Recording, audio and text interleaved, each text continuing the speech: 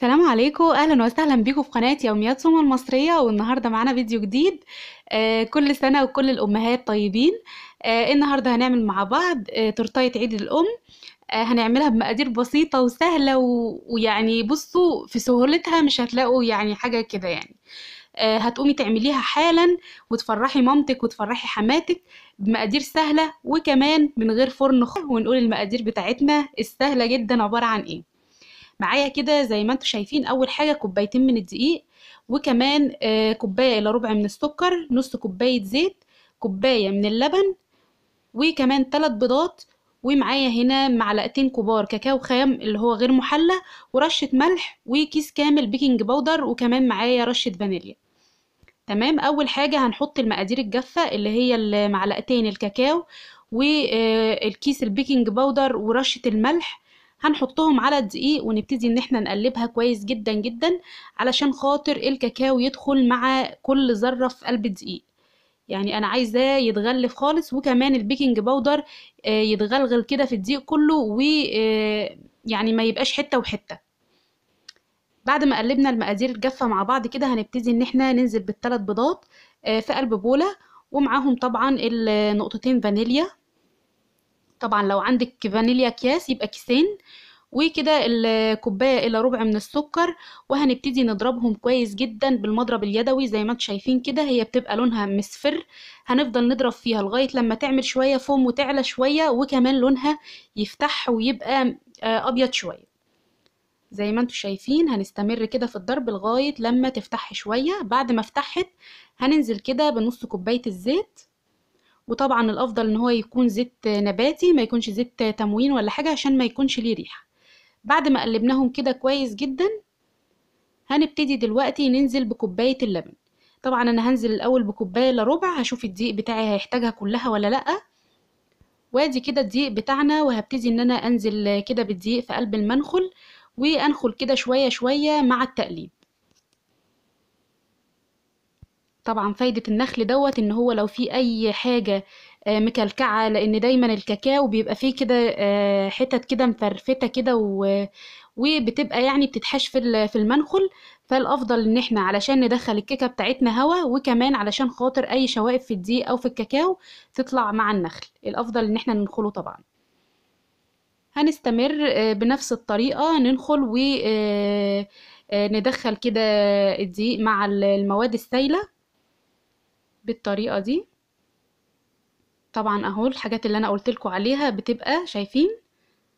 المهم هنبتدي إن إحنا نقلب كل المكونات مع بعض.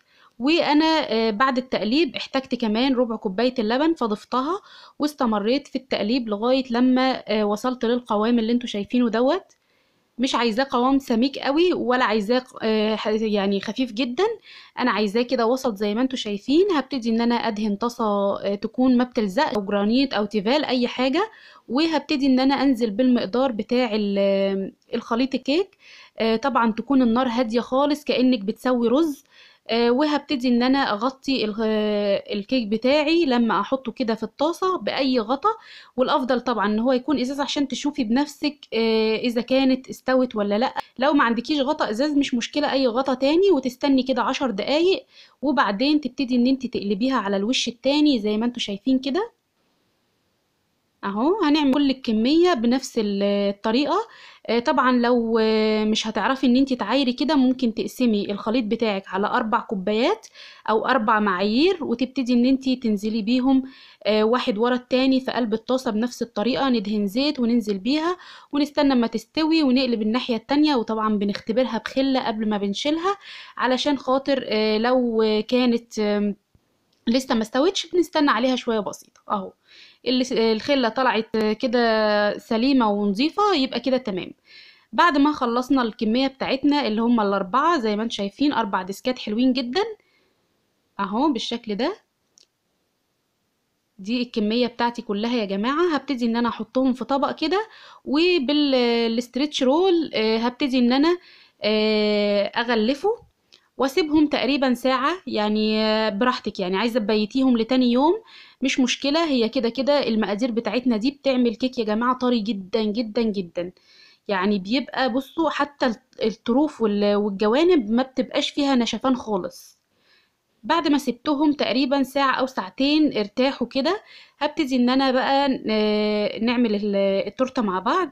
آه، معايا كده غطا حلة هبتدي كده إن أنا آه، أشيل الطروف بس مش عشان خاطر هي ناشفة هي عشان خاطر بس إن هي تكون متساوية وقد الطبقات قد بعض. وهجيب كده الطبق اللي هقدم عليه وهبتدي إن أنا أحط فيه معلقة كده من الكريم شانتيه. وطبعا أنا جهزت كريم شانتيه بالكاكاو وطبعا كلنا بنعرف إن كده. حضرت مية بسكر من غير ما تغلي خالص مية بسكر عادية خالص. وابتديت إن أنا أسقسق طبقة ال- الكيكة بتاعتي. وبعدين ابتديت إن أنا أحط عليه اللي هو بالكاكاو. أنا عملته بالكاكاو. وعلشان خاطر ما نبهدلش الدنيا يعني ورق زبدة تحت الكيكة بتاعتي. لغاية يعني لما أخلص تزيين.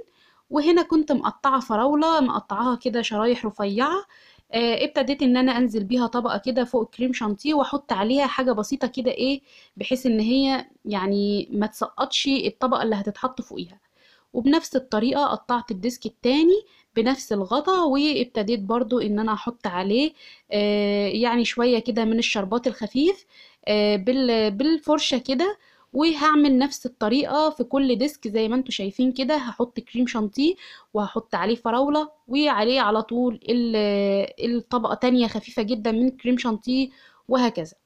طبعا الكريم شانتيه اللي حابب يعمله آه، أنا جبت كوباية من الكريم شانتيه عليها نص كوباية اللي هو كريم شانتيه خام وعليه نص كوباية من السكر اللي هو حبيبات ناعمة.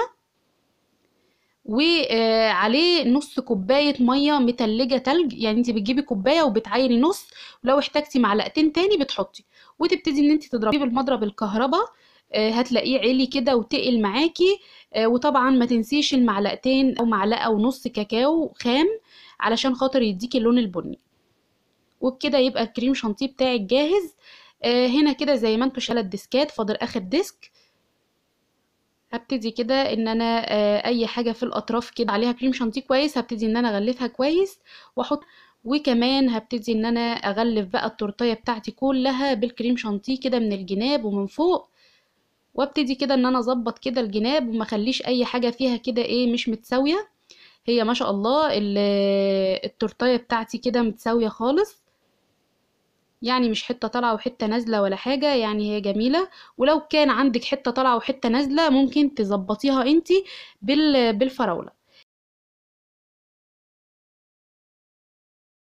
هنا كده سيحت شوكولاتة خام بشرتها وسيحتها على حمام مية آه، بمعلقتين زيت آه، ومعلقتين لبن آه، سحت كده وحطيتها في كيس وابتديت إن أنا أنزل على الأطراف على جناب كده.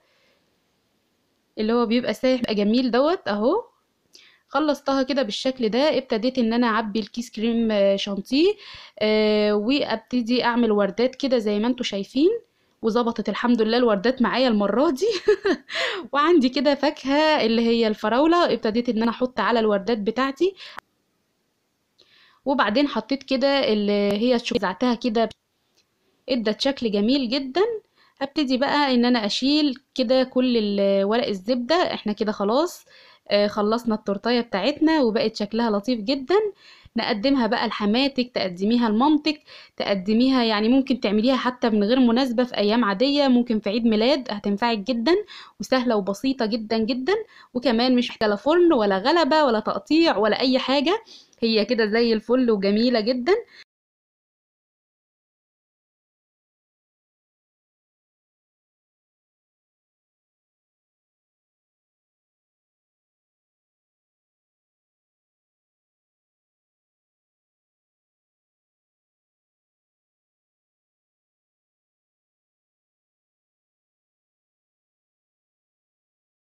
هنبتدي بقى نقطعها مع بعض علشان نشوف شكلها من جوه عامل إزاي. عايزة أقول لكم شكلها تحفة وعالية جدا جدا جدا يا جماعة. آه، مش محتاجين خلاص إن إحنا نعمل آه، كيك إسفنجي بعد الطريقة دي. صدقوني الكيكة يعني هشة وعالية وطرية جدا جدا. آه، هتعجبكم جدا. جربوها بطريقتي. إن شاء الله هتعجبكم. وأخيرا لو عجبكم الفيديو بتاعي النهارده ما تنسوش تعملوا لي like و share و subscribe للقناة وكل سنة وكل أم طيبة وأنا وأنتم جميعا بألف خير. وآخر حاجة أقولها لكم السلام عليكم ورحمة الله وبركاته.